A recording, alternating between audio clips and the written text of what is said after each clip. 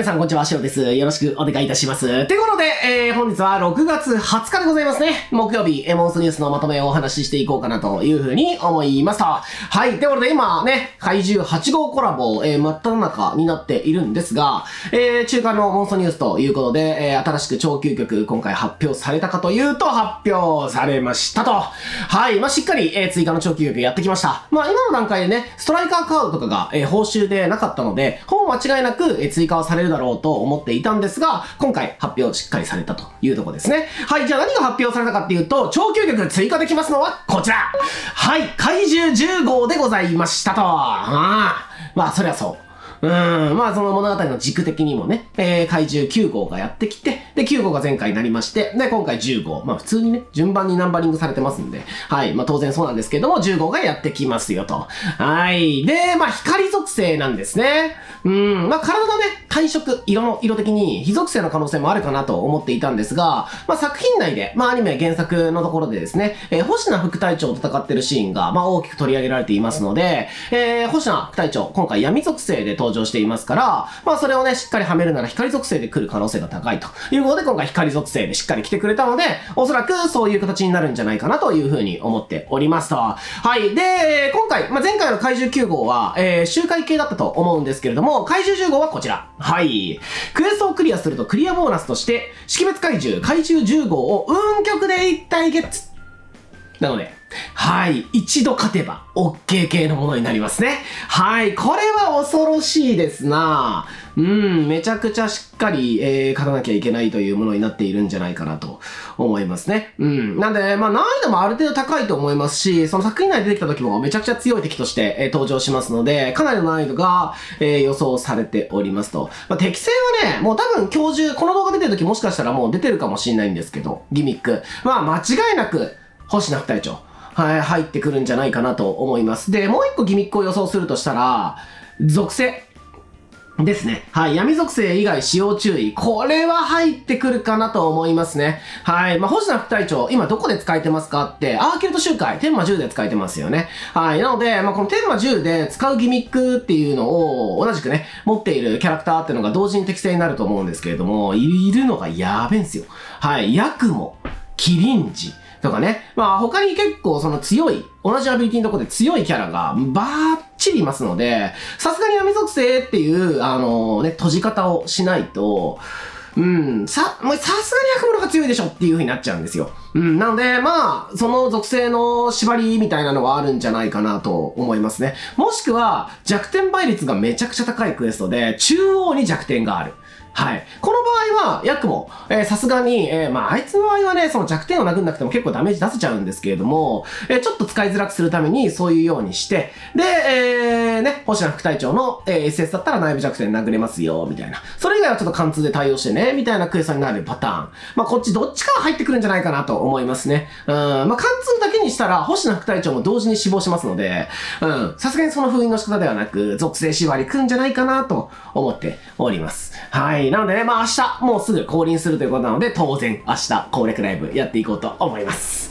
はい。で、えー、あとミッションも一応追加されますね。怪獣討伐任務、今ずっとやっていて、もうすでにね、えー、全部終わっちゃってると思うんですけれども、そこに2個、えー、登場しますよ。一つが再生後プリミジニュース。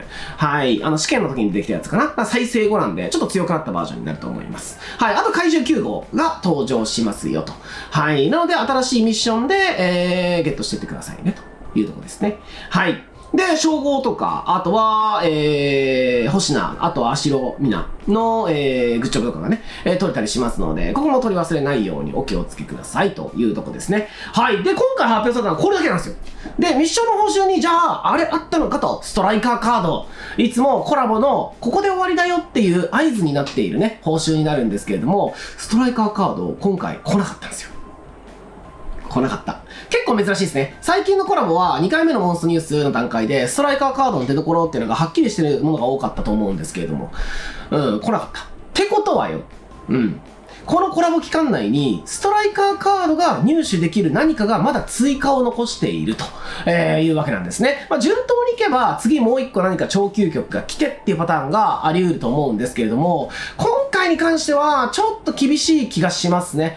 敵という敵は、えー、一応いるっちゃいるんですけれども、この後、超究極クラスまで持ってっていいような敵って言われると、5体ぐらい同時にできちゃうんですよね。はい。なので、まあ、そこまでも、あの、アニメの範囲的にも、その範囲は入れられないし、えじゃあ、その一個手前で、まあ、一応ね、カフカが戦ったっていう理由で、パパ。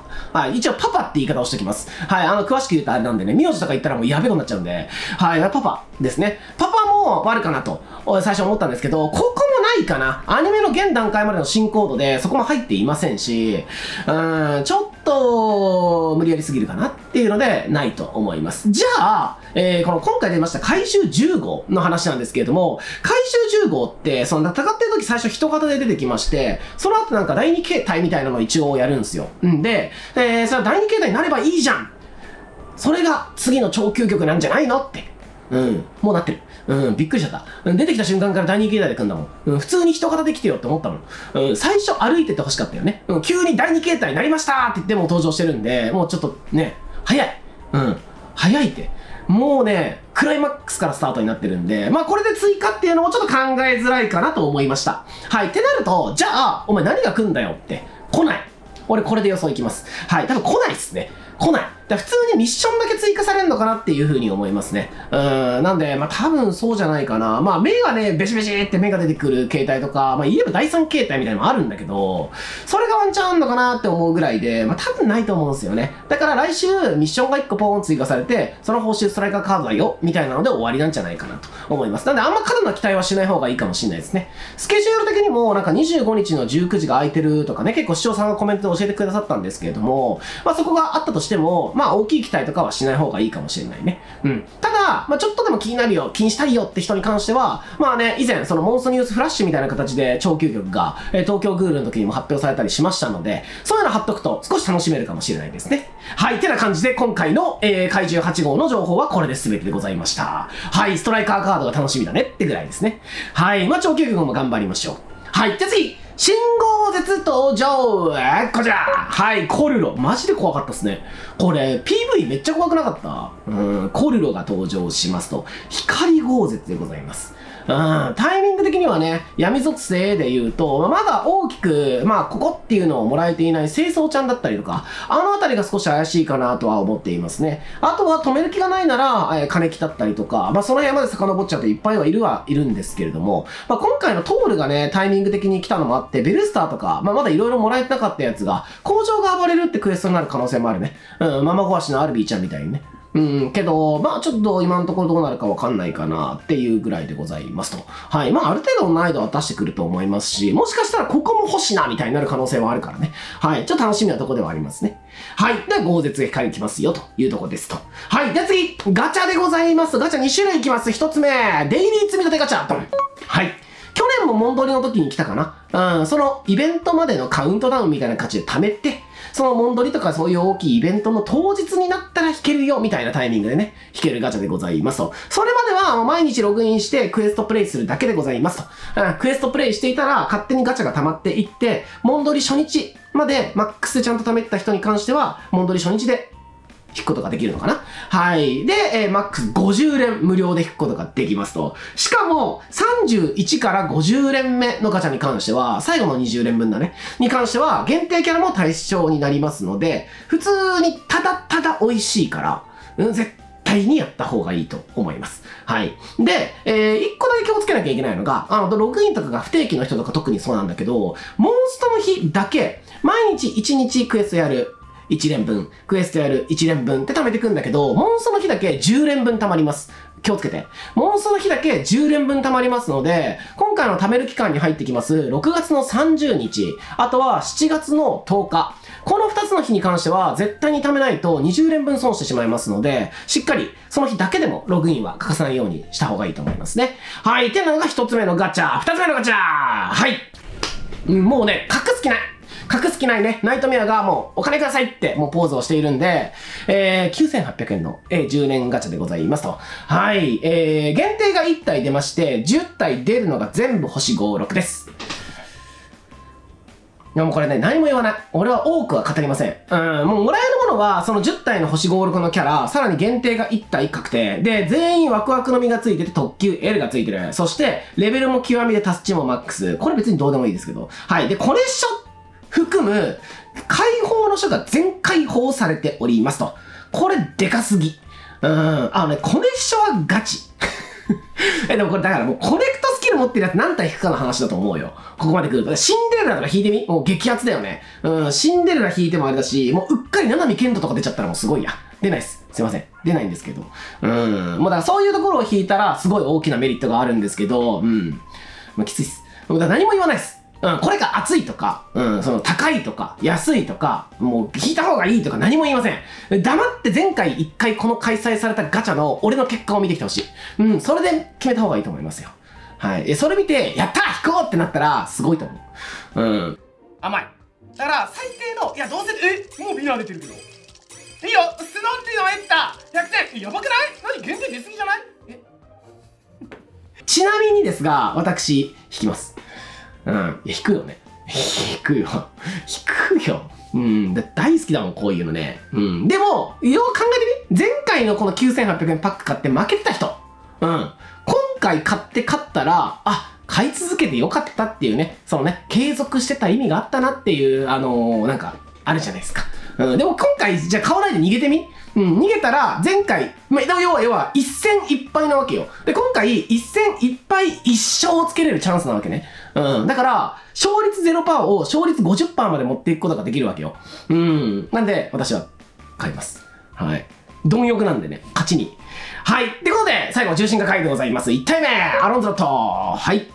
アロンズロットもちょっとこれ怪しいね。うん、ちょっとね、発表されたアロンズロットっていうイラストが来た時には、もともと重力ブロック貫通のキャラだったんで、あのーね、ダメオかなんかポーンついて、工場キャラでね、えー、低円なのの適性。まあ一番強いとは言いませんけど、まあクリームと激輪持ってない人用にね、えー、ちょっと使えるようにしてくれんのかなみたいな感じだったんですけど、まさかの重力ブロックの原則の方にやってきましたね。はい、これは、えー、あの、永遠の消防隊の時のアーサー、アーサーですね。あいつと、えー、アビリティが同じなんですよ。まあアーサーはこれにプラスウィンドがあるんですけれども、えー、そこまで一緒ってなってきて、今、闇霊絶の手前ってことを考えると、少しだけちょっと怖いよような気はしますよね。まあ、かといってね、アロンズロット、えー、厳選とか別にする必要はないので、霊絶はね、身関係ないからね。なんですけど、ちょっと覚えておいてもいいかもしれないですね。アロンズロットとかね。まあ、ストライカーカードとか出たりしたらね。はい、あれとかで出たら、あガチャリドラカーとか、とかで出たら、アロンズロットとかちょっと意識してもいいかもしれないなとは思いますね。はい。ただまあ、タイミングにはね、キコルがワンチャンとかも言われたり、他のキャラがワンチャンって言われたり、あとはまあ、朝あたりが怪しいとかもいっぱい言われてるところはありますので、まあ一つのね、候補先として見とくのはありだと思いますね。いや、仮にコーナー間ハマったら結構性能良くてですね、超減速ではないものの、超 AGB で走れて、でダッシュ M まで持ってるんで、かなりスピードが速い部類ですよね。で、嫌いはないんですけれども、超バランス型。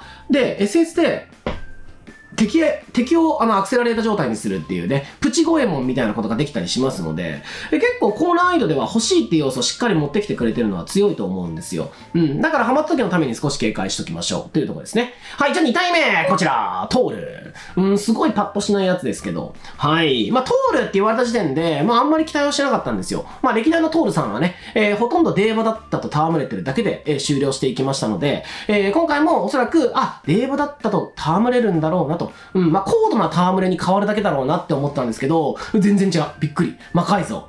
はい、性能。ダメオワープ魔法人重力っていう、なんか知らないけど。アビリティめちゃくちゃ増えて、アビリティすっごい増えちゃって、4アンチアビになります。で、なんか知らないけど、超短縮もらってからの40ターン SS になります。もともと妖精しかしばけなかったのに、妖精、ロボット、鉱物、聖騎士っていう、ね、4種族に対してキラー L になります。でも、友情コンボも、もう何があったかも覚えていない友情コンボが、超強ワンウェイレーザー EL と全敵超強落雷になります。いや、強いでしょ。これ結構強いよね。うん、工場にしてはなかなか大きい性能をもらえたんじゃないかなというふうに思いましたね。うん。戦型異なるキャラが2体以上、または種族魔人とかになりますので、魔人だとなんか一応、ま、ベルスターとか言われてたかなはい。とかと組み合わせたりっていうのも考えられるんで、全然ね、うん、強そうですよね。はい。なので、まあ、高難易度ハマってくれたら、ちょっとだけ嬉しいなという感じですね。ちょっとだけよ。はい。まあ、俺運極なんでね、すごい、あの、強くなる分にはすごい嬉しいんですけれども。はい、通る。意外でしたね。うん。やっぱりね、過去、その、いい思いしなかった奴らって、重心化回とかで結構化けやすかったりしますので、トール君はね、もう化けてほしいですね。うん、楽しみですね。はい。はい。ってことで、えー、6月20日20日のモンストニュースは、これにて情報は全てでございましたと。うん。で、本当だったらね、このニュースと別のところで適正予想とかもしたいんですけれども、ちょっと今日ね、予定立て込んでおりまして、えー、適正予想とかもできそうにないので、さっきね、ちょっと重めに話したって感じですね。あのー、まあ、アーケット勢のやつがハマりそう。まあ、星なんでしょ。間違いないでしょ。あと、まあ、バビロン、カエサルとかその辺じゃないですか。はい。もしかしたらもう今回もオニキスくんがね、出てくるかもしれませんけれども。はい。ちょっと楽しみなとこではありますね。はい。ってことで、皆さんの感想だったりとか、まあ、もうね、この動画が出てる時にギミックとかが出ているんであれば、その適性についても話していただいて大丈夫なので、えーぜひぜひコメントしていっていただければなと思います。よろしくお願いいたします。よかったらね、最後にチャンネル登録、高評価もお待ちしておりますので、ぜひよろしくお願いいたします。それではまた次の動画でお会いいたしましょう。バイバイ、ありがとうございました。